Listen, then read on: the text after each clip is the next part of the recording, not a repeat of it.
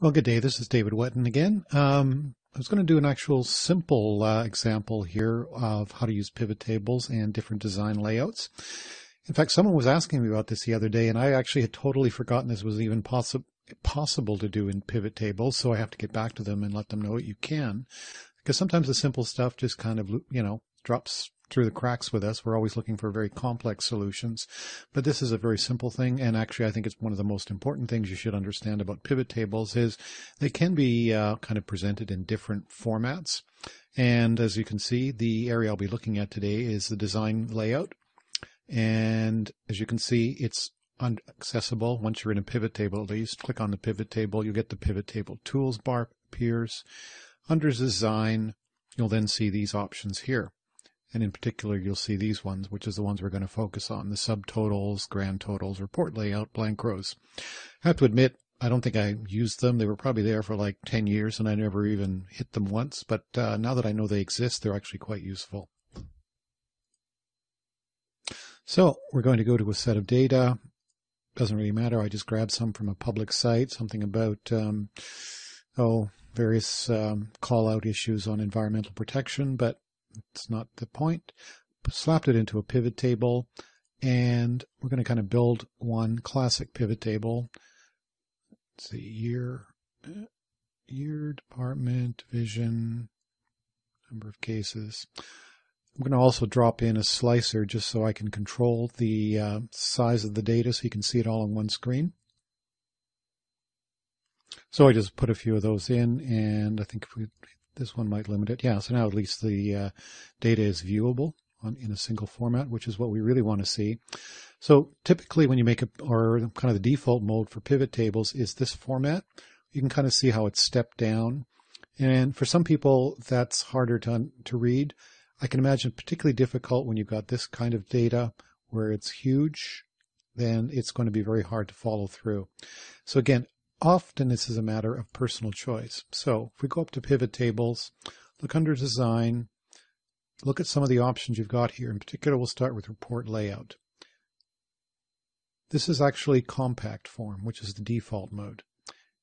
In fact, what it says here is the compact form optimizes for readability, while the tabular and outline forms include field headers.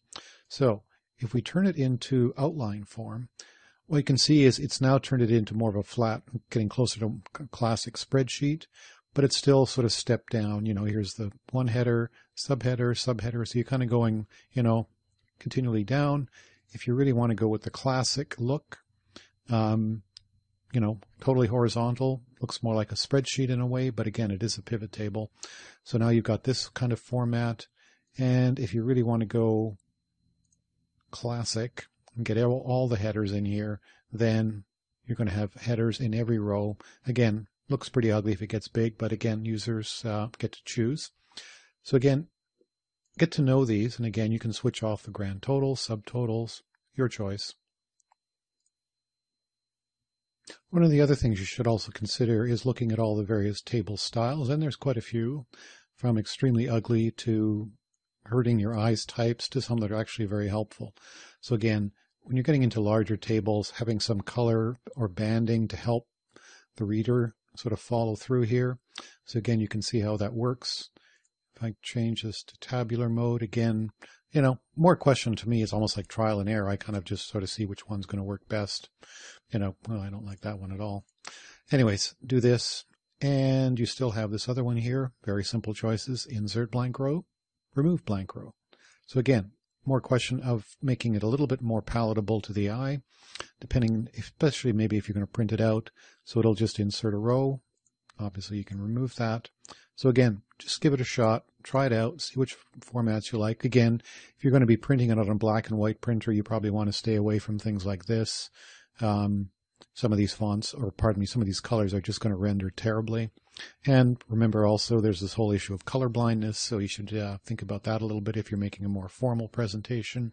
Some colors simply don't render on some people's eyeballs, so keep that in mind, especially for your male audience, which is, uh, what is it, for, I don't even know statistics. Is it 7% or, anyways, look it up. Google So anyways, uh, pivot table, design layout options. Yeah, definitely take a look at them. I have to admit, I never did them for years and years. I kept going with the same compact form, which I still think is the best overall. But uh, the other ones have their values. And some of the clients, particularly the ones that are coming from traditional spreadsheets, I found that they are very uncomfortable going into anything that doesn't look very similar to their classic spreadsheet. So, I mean, toss them a bone, give it to them in the more traditional layout. You can easily change it back. As you can see, it's just literally a button push. And once they get used to the idea that they can turn it on or turn it off, then they're much happier. So again, just more to learn and very useful tools. Cheers for now.